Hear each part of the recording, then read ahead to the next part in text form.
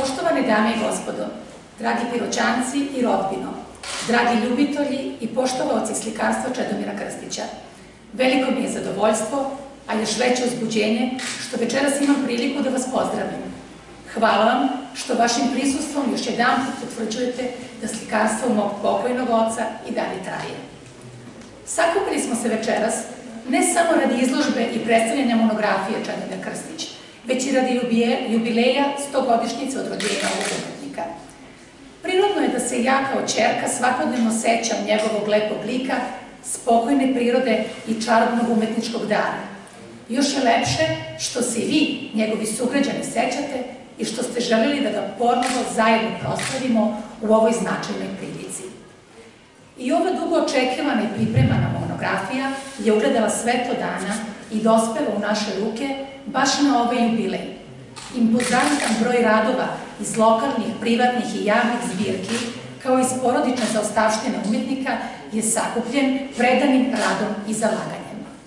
Koristim ovu priliku da se zahvalim mojoj i tatinoj porodici, kao i prijateljima koji su velikodušno pozajmili radove i tim činom doprineli i da ova izložba i da ova monografija budu što potpunije i obimnije.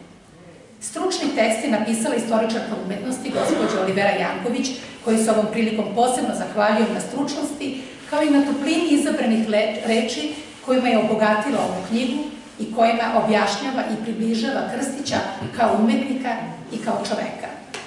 Moja zahvalnost dragoj Jeleni Lazarević, istoričar umetnosti i menadžeru projekta, bez čije pomoći i upornosti ne bi imali na raspolaganju toliko količinu obradiva građe.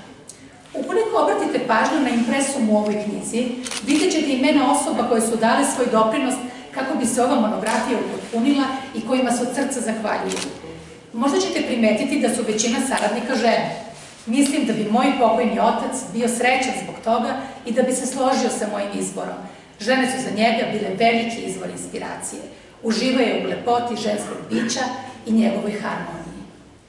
Krstić, po tekstu Olivere Janković, kao poslednji srpski intimista, radi i stvara u duhu poetskog realizma, doživljavajući svoje stvaralaštvo kao unutrašnju borbu na putu ka smirenju.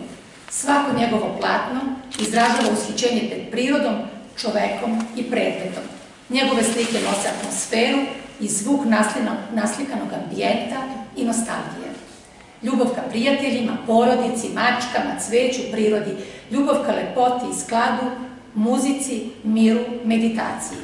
Verujem da je baš to što svi mi i koji nismo eksperti percipiramo na ovim slikama koje nas gledaju i podsjećaju na njega. Baš zato i uživamo u njima. Moja duboka zahvalnost Galeriji Arte Medija iz Beograda, bez čije pomoći i stručne saradnje ovaj projekat ne bi bio realizovan.